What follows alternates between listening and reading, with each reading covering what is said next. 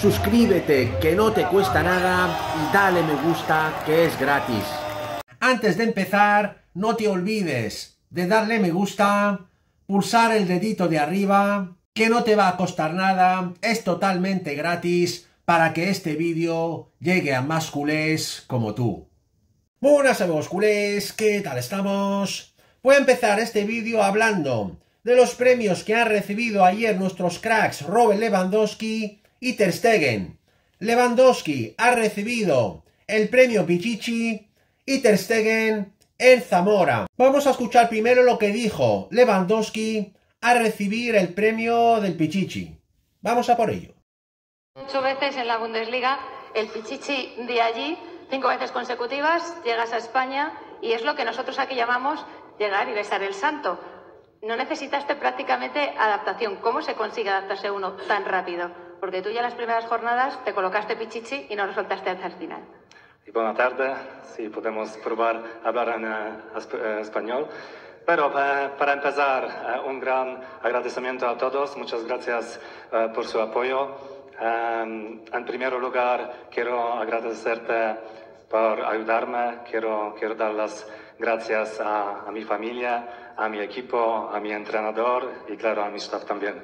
Sí, pero preguntar, mm, yo sabía, está, está para mí muy importante adaptarse rápidamente en equipo, en, uh, desde el principio el equipo ayudarme con muchas cosas y ganamos la Liga, Supercopa y yo ahora Pichichi. Estoy muy, muy feliz.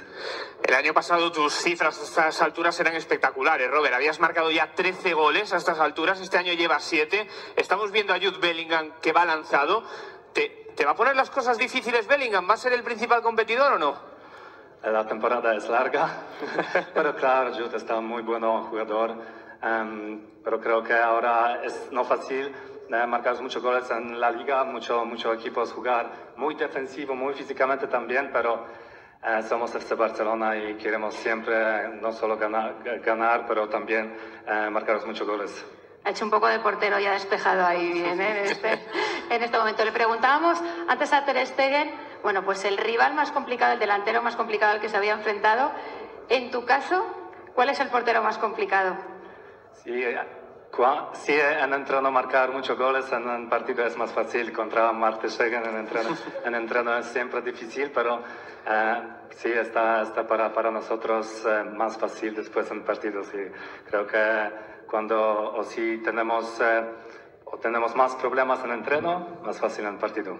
He leído una cosa... despejar otra vez, ¿eh? Sí, sí, lo hace bien, lo hace bien. He leído una cosa muy curiosa, corrígeme si me equivoco, Robert, tu mujer, que, que ha sido eh, deportista de élite también, que ahora eh, sabe mucho del mundo de la alimentación.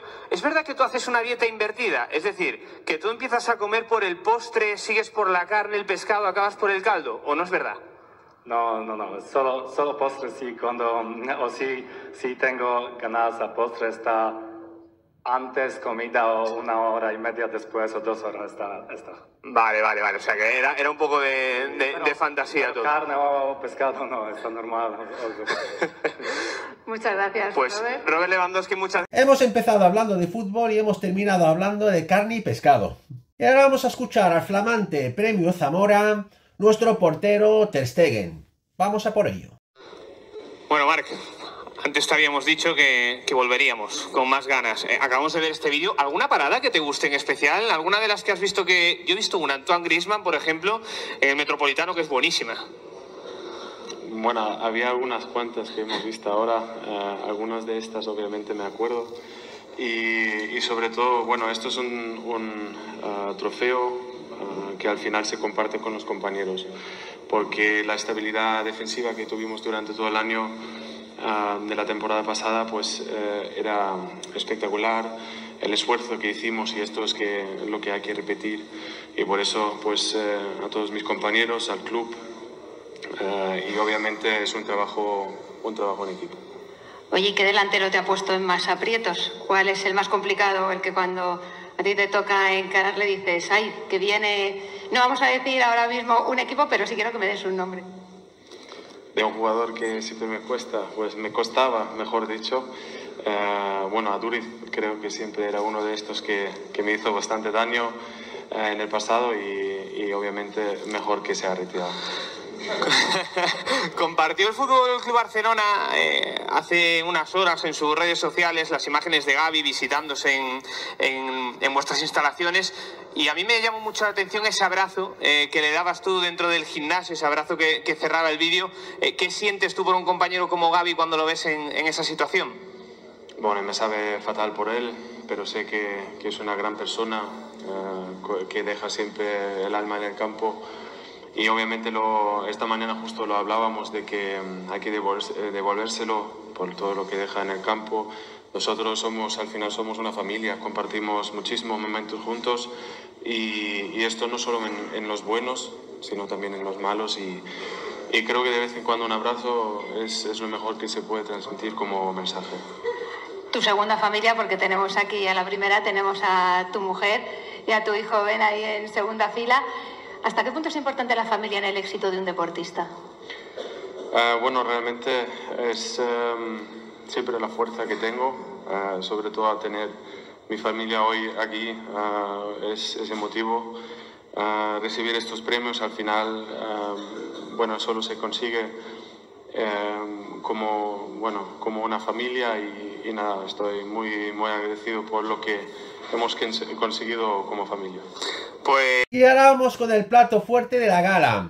El tremendo juego al despiste de nuestro gran presis a la porta cuando le han preguntado por el sustituto de Gaby. Vamos a escucharlo. Bueno, sí, es una desafortunada lesión eh, que tiene. Lo primero ahora es, es, que el jugador se recupere, que se centre en la recuperación. Gaby tiene mucho presente mucho futuro aún. Y, bien, el club, por supuesto, estamos a su lado para lo que sea necesario.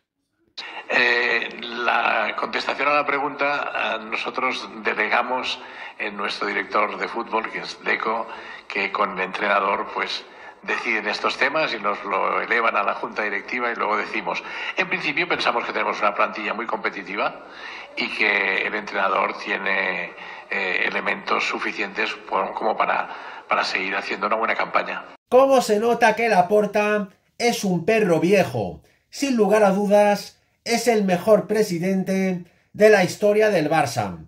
Y ahora vamos con el temazo principal. Bombazo de última hora. Messi, el sustituto de Gaby en el Barcelona. Una fuente deportiva muy importante acaba de informar que Xavi está presionando para que Messi sea el sustituto de Gaby a partir del próximo mes de enero. La misma fuente asegura que Xavi está hablando diariamente con Messi para intentar convencerle de volver al Barça en el próximo mes de enero. Y la misma fuente va a más. Afirma que el club está esperando el sí de Messi para cerrar la operación con la liga. Si el club logra convencer a Messi para volver en el próximo mes de enero, no solamente va a ser la mejor noticia en la historia del Barcelona, sino vamos a ser serios candidatos a ganarlo todo esta temporada. Estaremos atentos a los acontecimientos. Esta ha sido mi grandísima noticia de hoy, amigos culés. No os olvidéis suscribirse a mi canal, que no os cuesta nada. Pulsar un like como siempre y dejarme comentarios para cambiar opiniones. Muchas gracias. Forza Barça por siempre, Forza Messi. Y nos vemos muy pronto en mi próximo vídeo. ¡Vamos!